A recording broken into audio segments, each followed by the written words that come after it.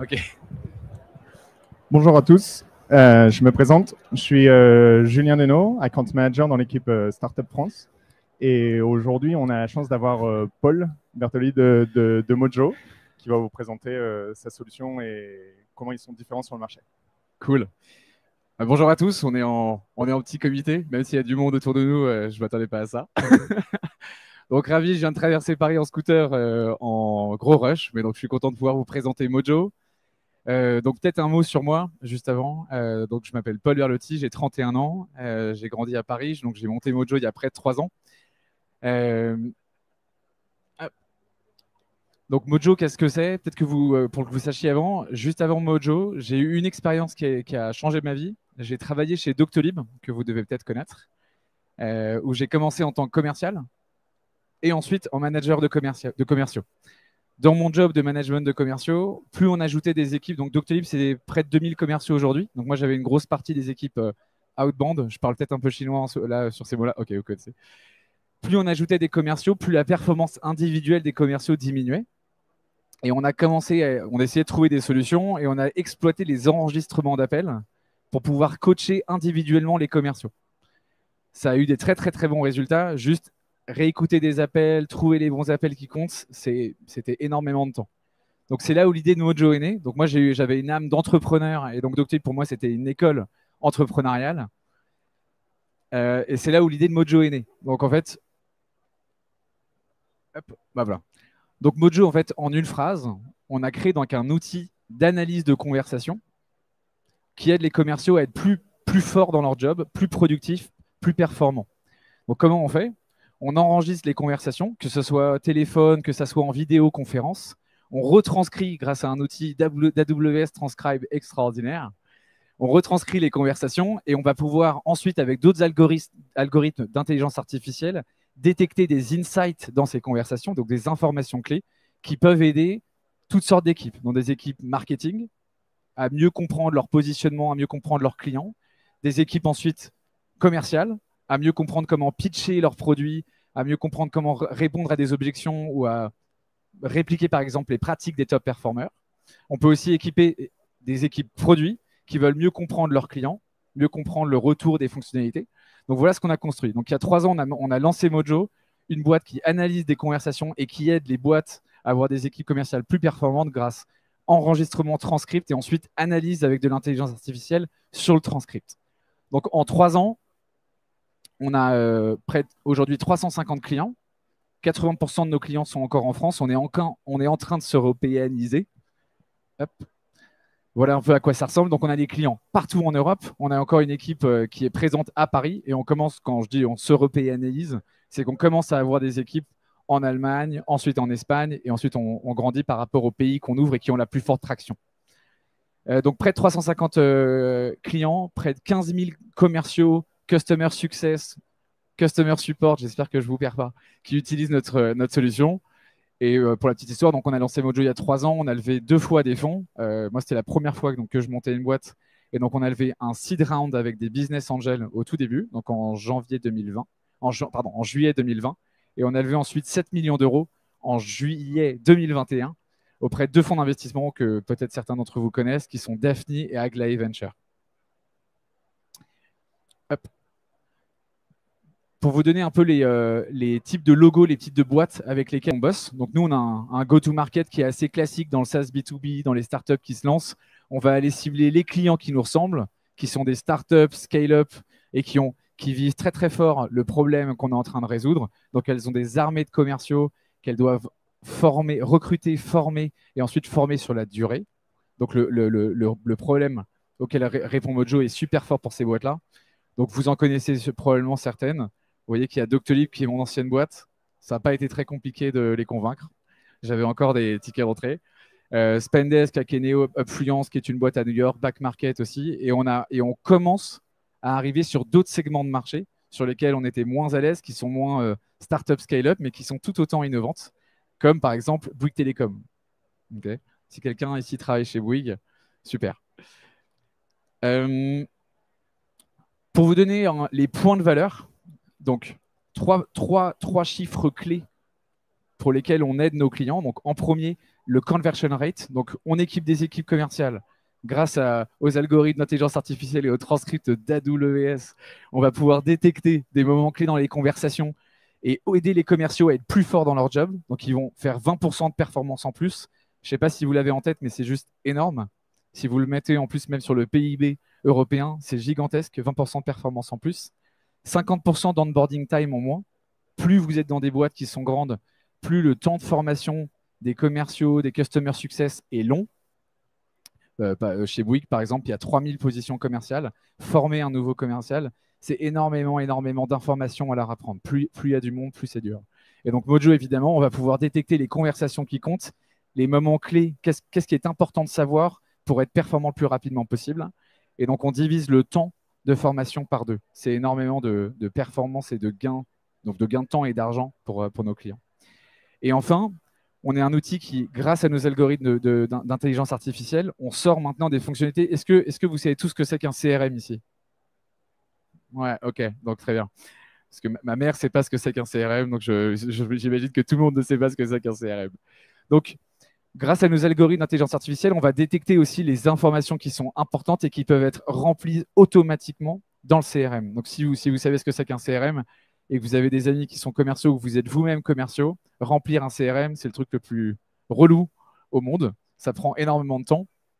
Donc, grâce à la détection d'informations clés, on va détecter de l'information clé donc dans les conversations et remplir les champs du CRM de manière automatique. On est devenu le meilleur ami des commerciaux, donc de tous les commerciaux Customer Success chez nos clients, et on leur fait gagner 8 heures par mois. Donc voilà les trois, points de valeur. Euh, qu'est-ce que je peux vous dire d'autre? Je ne m'attendais pas à ce que ça soit aussi rapide. Euh, pour vous donner peut-être euh, les sujets sur lesquels nous, on est en train de bosser et qui sont extrêmement innovants sur la partie intelligence artificielle. Maintenant qu'on a un enregistrement d'une conversation et du transcript et de l'intelligence qui vient aller chercher des moments clés dans ces conversations, il y a plein de fonctionnalités qu'on peut imaginer. Donc si je vous avais dit il y a six mois qu'on allait pouvoir chercher des, informations clés dans une conversation et remplir automatiquement en CRM, personne ne m'aurait cru. Et vous avez tous utilisé probablement ChatGPT ici. Et on a tous vu la puissance de, de, de, de ChatGPT. Alors, on fait pas de pub pour ChatGPT. Hein. Je sais que AWS a des super algos euh, par rapport à ça. Mais vous avez tous utilisé GPT sur euh, là-dessus. Donc, vous voyez un peu la puissance de ces modèles-là. D'autres sujets sur lesquels on bosse, euh,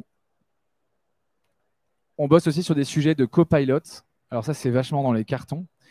La façon dont nous, on voit le job de commercial ou de customer success dans le futur, c'est que dans leur conversation, donc avant, il y avait euh, j'ai ma conversation, j'essaie d'appliquer ce qu'on me demande de faire et je vais essayer de faire au mieux. La je raccroche, je peux aller sur Mojo et je vais regarder ma conversation et je vais essayer de comprendre ce que j'ai mal fait, ce que j'ai bien fait. Ça, c'était avant. Les sujets sur lesquels on bosse, c'est de pousser de l'information en real time dans une conversation. Donc, euh, mon client me mène une objection, me, me, challenge sur un sujet que je ne connais pas bien, et ça, ça arrive.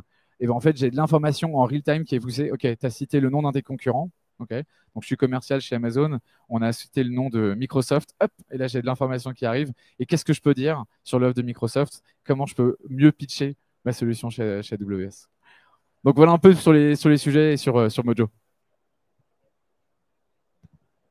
Allô, Super. Merci beaucoup, euh, Paul. Je ne sais pas si vous avez des questions particulières à lui adresser.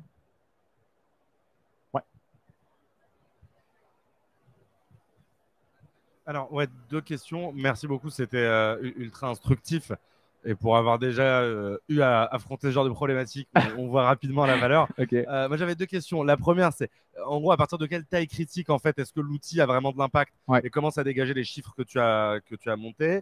Euh, Deux, sur ce que tu disais sur le, taux de conversion, est-ce que c'est uniquement directement lié aux conversations ou est-ce qu'il y a des enjeux autour de la qualification des clients hmm. qui n'ont peut-être pas été évoqués? Et peut-être ma troisième question, ce serait de plus en plus aujourd'hui dans les équipes sales, euh, notamment des startups, les, les sales plays sont autour de, méthodologies un peu customer-centric, CCS, médic. Ce que mm. tu disais sur le real-time, est-ce que par exemple on cite le nom d'un concurrent au lieu de push euh, de la donnée sur voilà ce que toi tu devrais dire, l'outil serait capable aujourd'hui ou peut-être demain de plutôt reframer des questions mm. pour diriger la conversation dans une autre direction? Parce qu'on est beaucoup sur des plays comme ça. Voilà un peu. Oui, ouais, alors ça, sans aucun doute, pour te répondre à la deuxième question. Euh, donc je ne savais pas que tu t'aurais pu connaître Medic, etc. Et je voulais pas perdre euh, l'audience. Je ne sais pas trop à qui je parle, c'est pour ça. Mais donc oui, euh, les commerciaux, ils ont en, règle générale, quand ils arrivent dans une entreprise qui est suffisamment établie, on les forme sur une méthodologie de vente. Cette méthodologie de vente, c'est comment mieux vendre la solution. Ça a été ça a été euh, euh, bulletproof sur, euh, sur 350 commerciaux avant toi, donc tu peux faire confiance dans cette méthodologie.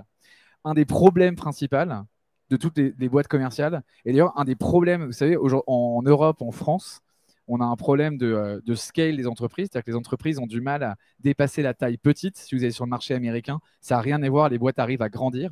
Et bien ça, c'est un très bon exemple. En fait, les ricains, ils arrivent à, scaler des organisations commerciales, c'est dans leur culture, il y a un vrai playbook qui se transfère et il y a une, euh, une vraie connaissance dans l'économie américaine, ce qui est moins le cas en France. Et ben, la méthodologie, ça c'est typiquement un truc qui a du mal à se transférer. En réalité, c'est assez nouveau dans les boîtes euh, en France. C'est connu chez, euh, chez Microsoft France, chez AWS en France, mais, pas dans, les, dans la boîte de Monsieur Tout le Monde en France.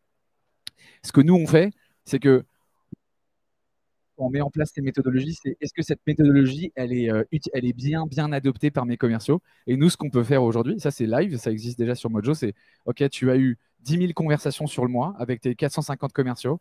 La méthodologie que vous avez mise en place, c'est celle-ci. Elle est suivie à 23%. Et ça, déjà, tu peux le faire. Donc, si tu es CRO, chef des ventes, que tu gères 450 commerciaux, en réalité, aujourd'hui, tu n'as aucune idée si les, gens suivent la méthodologie. Là, tu peux, tu peux le savoir. Et ta première question, pardon, c'était? Ah oui, la taille critique. Ouais. La taille critique, bah, en fait, en réalité, ça va être hyper vague. On a des boîtes qui ont une dizaine de commerciaux et on a des boîtes comme Bouygues Télécom qui peuvent avoir euh, près de 6000 commerciaux. Donc les cas d'usage sont différents et euh, euh, si je peux t'en citer, bah, dans une boîte de 6 commerciaux, par exemple, l'analyse real-time, elle est détectée de l'information sur qu'est-ce qui convertit réellement. Ça même à 6 commerciaux, les gens te disent qu'ils ont une bonne idée, mais en réalité, ils ne le savent pas trop. Dans une boîte comme Bouygues Télécom, ce point de valeur, il a encore plus de valeur, mais ils vont plus aller faire, par exemple, des cas d'usage sur de la méthodologie. Donc c'est assez, assez euh, Peut-être que on a évidemment nous des concurrents qui se lancent aux États-Unis un peu partout, et peut-être qu'un choix de demain, ça va être justement de se positionner sur un segment de marché et devenir un expert. Donc, on va peut-être devenir des experts du Telecom Center ou du segment de marché mid-market et abandonner au fur et à mesure le small et le large. J'en sais rien. Euh, probablement que ça passera par là, se concentrer. Donc aujourd'hui, on est encore hyper large. On a 350 clients. Si tu veux un chiffre clé, on est à 5 millions d'ARR. Donc ça grandit très vite, mais on est encore au tout début. Euh, on a lancé la boîte en janvier 2020, juste avant le Covid. Merci pour cette réponse euh, détaillée. Est-ce qu'il y aurait d'autres questions dans l'Assemblée? Ok. Ben, je pense que si Paul, tu n'as rien à rajouter, on peut s'arrêter là. Cool. Super, merci à tous. Merci beaucoup.